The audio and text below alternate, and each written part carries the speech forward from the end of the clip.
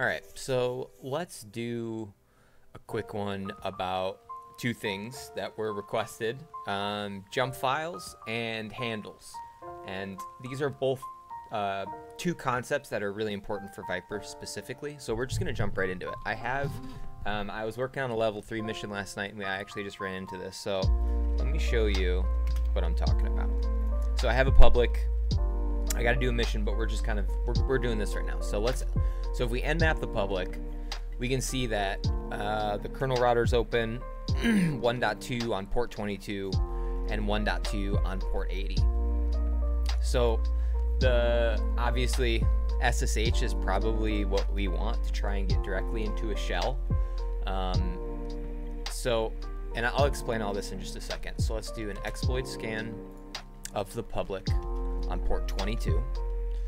And then we are going to specify this guy, uh, 192.168.1.2, sets a LAN computer inside that network. and also keep in mind, I'm SSH'd into my other server, and then I use add varlib0 to make sure that I can still use the processing power. Don't, don't forget that, otherwise this part is going to take forever. If it takes super long, then you know you forgot to add the, the lib. So we've exploit scanned that computer on port 22, um, and so let's check targets. Okay. Object types. We have shell, we have file, and we have computer. Those are the three levels of object types, of handles. Basically, the order is if you have a shell, you're good. If you have a computer, that's better than file, but not as good as shell. And then file is technically not as good as computer, but if you get root file, you can you can move stuff, right? So the object type is kind of what it sounds. Um, so let's let's look at some examples.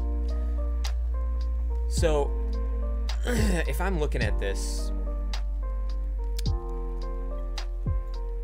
I want to go root file object. Now that means that I can't do a bunch of stuff. So let's let's do it. Let's do it. Let's let's do use one.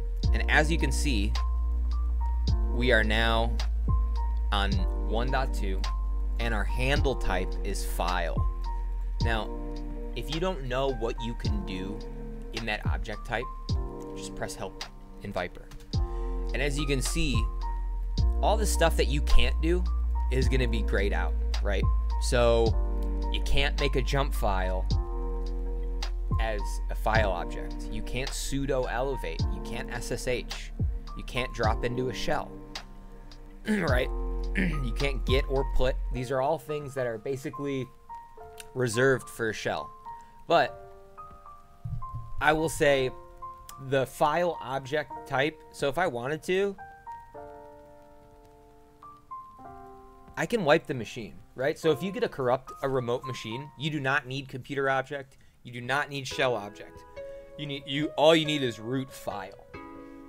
so with that in mind, let's look at targets again.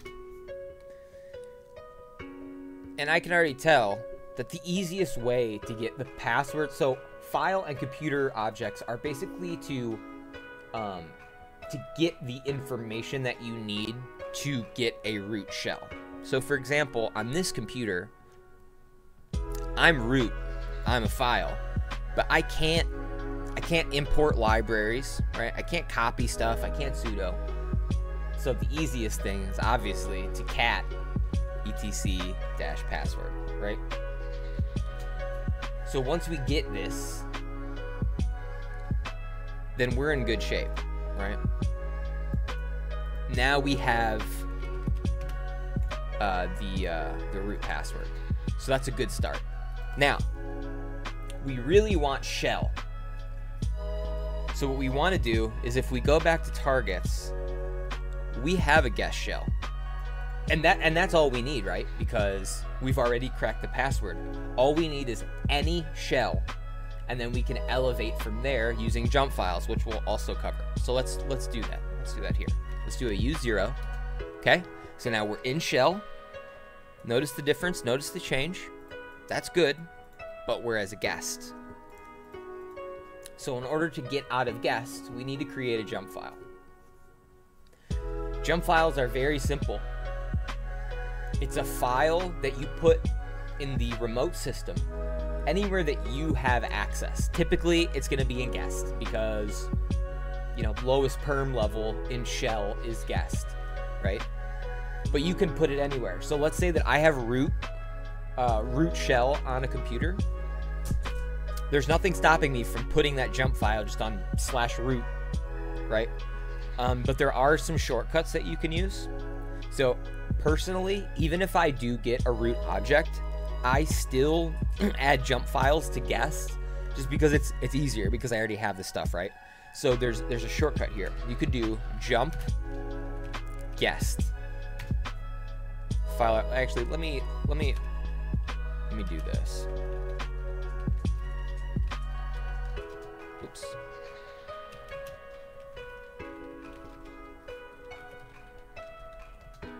Okay. Um, and then we need to um, guess. Okay, now I've removed them. Let's try this again. So let's do jump guest. Okay, and I didn't get a file already exists error, so we know we're good. Now, doing that, the jump guest, is exactly the same as going jump slash home slash guest slash jump file. Or, yeah. Did I remove the entire thing?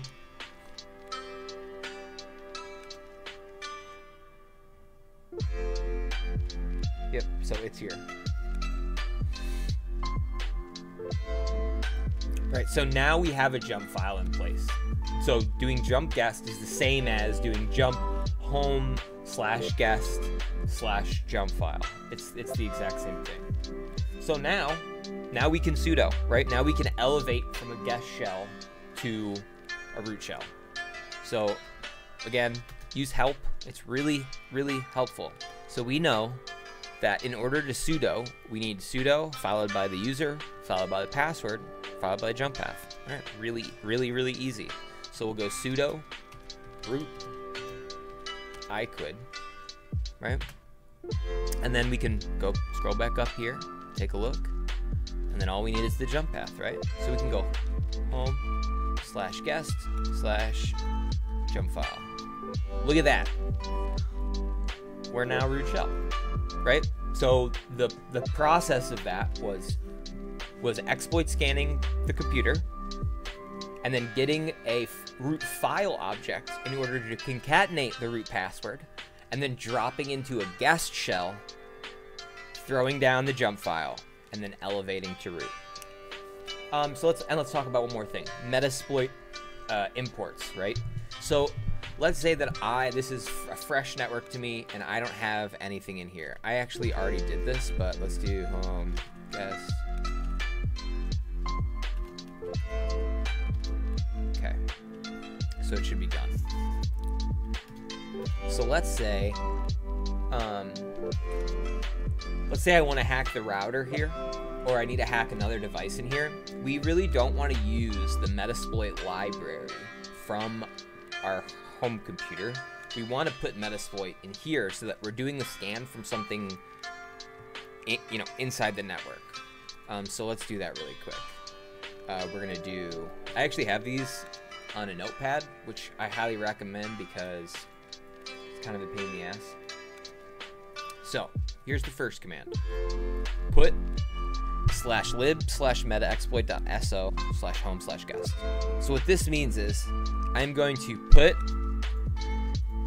this is a local folder, right? So on my home computer at slash lib slash metaxploit.so, and then the destination, which is slash home slash guest slash, right? Because you're just you're specifying a folder to put the file in, not like with jump files where you're specifying a specific file, right? If you do not see this process bar, you have not done it correctly. Metasploit isn't uploaded, right? So now Metasploit is sitting on that computer. Now we have to import the library, right? We move the file, then we import the library. So I'm gonna paste this command again so I don't have to type it out. This the same thing. Git lib is the first command. Basically means get the library. And where is the library? Well, we just put it on home guest, so we know that's where it is. And then we have to reference the jump file, which is in the same location, home guest jump file, right? So git lib, where metaxploit is now, and then where the jump file is now. And then you press enter. Okay? And then you should see a library imported. That's a good sign. Now when we type libs, see how this is grayed out? Also note the IP, the local IP of it, right? So we want to use the one from this 1.2 computer. So let's do a use lib 3. Okay, right? So now I've said the library that I want to use is not my home library. I want to use the metaxploit on my uh, first victim computer. So now if I type libs, look at that. The metaxploit from my home machine, that library has been removed and it's been replaced with the metaxploit library in this new 1.2 location. Right? So there we go. So that's that's basically all you need to know. From there, you're pretty much gonna get whatever you need. Um, this is a good way to do a lot of bounce exploits um, or you know scan other devices in the network and stuff. Um, let's do a deep scan of the public, just real quick. Right. So now we have all these subnets.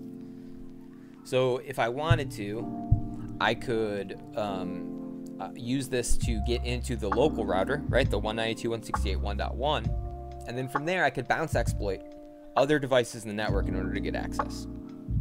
Yeah, I want to keep this kind of short. Um, if you have any questions, obviously I'm a nobody, so just let me know. I'll answer them. Um, there's not a lot of people play this game, so I have no problem making videos for specific requests. Uh, you know, obviously, like, comment, subscribe, all those things that people are supposed to say. Uh, thanks.